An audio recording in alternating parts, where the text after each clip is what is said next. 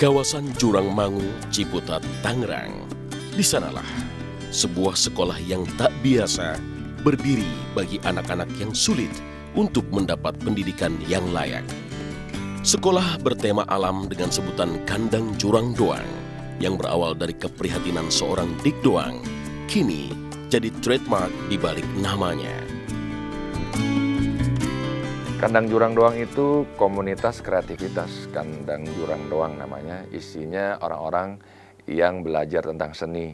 Seni menggambar, seni belajar gitar, seni perkusi, seni tari, komputer, eh, lalu band, paduan suara, terus mengenal dunia outbound, ya, sawah, menanam padi, mandikan kerbau, eh, semuanya yang kegiatannya dengan main main, main, dan main yang sudah dilupakan.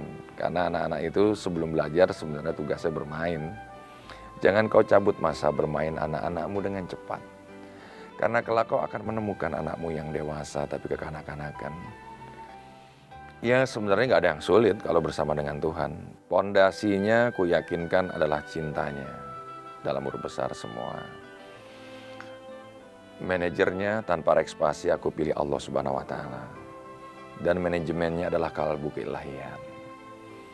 Di mana aku yakini bahwa walaupun kakiku diborgol oleh orang lain, tapi kakiku jauh lebih cepat berlari dan meloncat. Walaupun mata airku dicuri oleh tetanggaku misalkan, maka niscaya aku akan cepat juga lebih mewangi dan lebih bersih. Walaupun aku tidak punya bumbu dapur dan sayur mayur, tapi insya Allah yang hadir menjadi keluargaku sebagai tamu atau sebagai kerabat tidak pernah kelaparan datang ke Kanang Jurang doang. Tapi semua itu karena Allah bukan karena aku.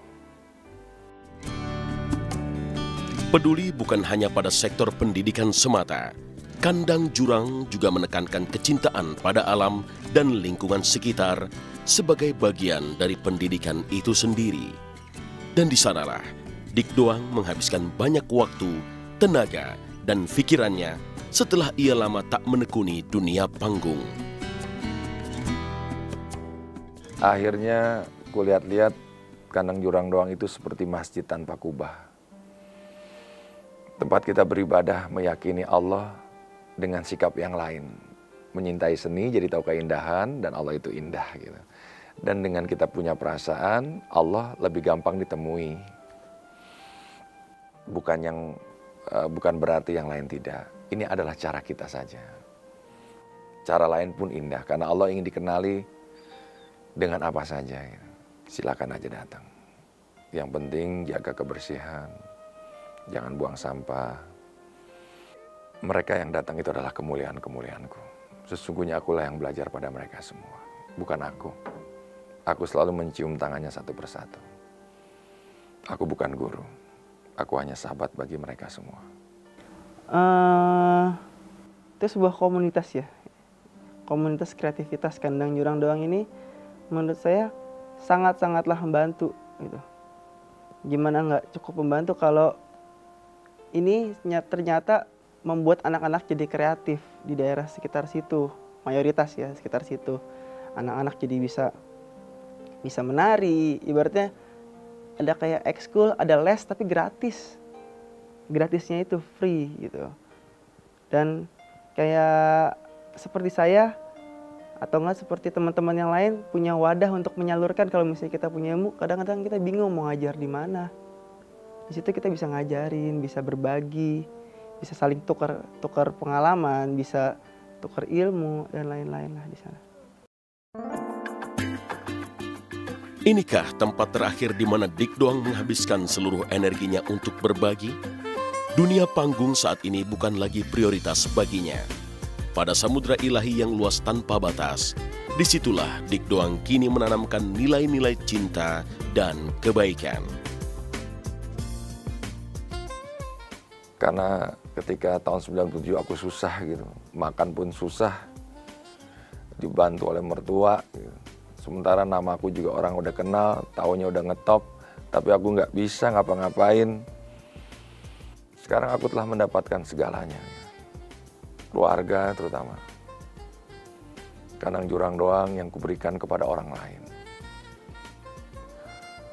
Kuwakafkan untuk kemaslahatan pendidikan, gak perlu bayar. Yang penting dijaga aja, dijaga. Karena aku tidak pernah merasa memilikinya. Ya, entertain itu kan seperti ikan-ikan yang berenang di akuarium. Yang cantik, yang unik, ya ada. Dibeli orang, disaksikan orang, lalu terumbu karangnya difoto oleh fotografer yang paling hebat dengan kamera yang paling canggih jadilah dia background. Televisi itu indah, ditambah lighting, wah sangat menggiurkan, menakjubkan lah. Itulah televisi, sama dengan akuarium. Ikan-ikan itu berenang dengan indahnya.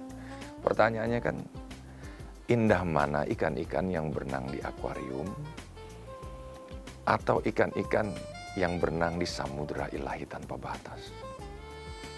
Pasti jawabannya kan indah-indah yang di samudera. Cuma kita tidak tahu Nah, sepanjang aku tidak di dunia televisi, aku juga mengerjakan banyak hal bersama samudra ilahi itu. Menanamkan nilai-nilai. Anak-anak dididik menjadi orang-orang kreatif, mandiri, cinta kepada ibunya, mengenal Tuhannya. Gak ada yang lain. Semuanya kebaikan. Insya Allah semuanya kebaikan. lewat kandang jurang doang. Sesungguhnya banyak yang ingin disampaikan pria kelahiran Jakarta 21 September 1968 ini. Tema besar kita adalah memperkenalkan dunia seni pada anak-anak. Yang ada di depan kita adalah anak asuhan yang sudah benar kita lakukan, memberi 2,5% ataupun apa pun itu. Tapi sekarang kita lebih memtebal tipiskan dengan menemaninya untuk mereka berilmu karena mereka kelak dalam kehidupan tidak bisa dipisahkan ini anak yatim, ini anak yatim piatu, ini orang kurang mampu, tapi dalam kehidupan itu semuanya sama. Keprihatinannya pada keterpurukan nasib pendidikan sebagian anak-anak Indonesia coba ia uraikan dengan pendekatan kepada alam semesta. Ya, buat aku sekolah itu penting, makanya kita harus sekolah.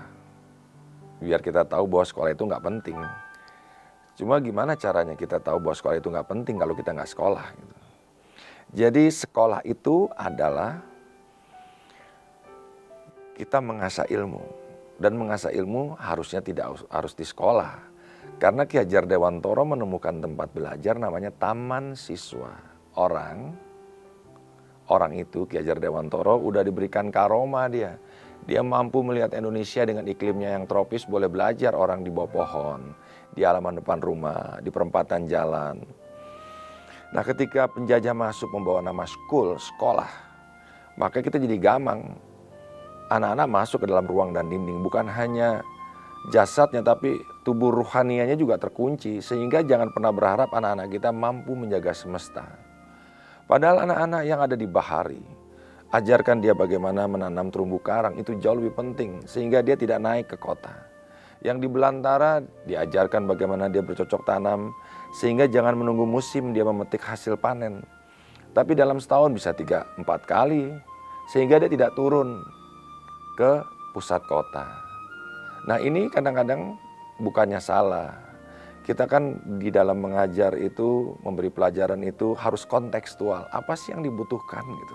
Kalau mereka diajarin seperti orang-orang kota, maka ujung-ujungnya ujian nasional lagi akhirnya mereka mencari penghidupan di kota lagi. Sehingga anak petani itu tidak lagi mau bercocok tanam, tidak ingin menjadi petani lagi, tapi anaknya penyanyi. Rata-rata ingin jadi penyanyi.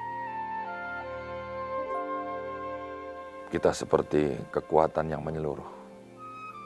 Apa-apa yang kuingini dia iakan.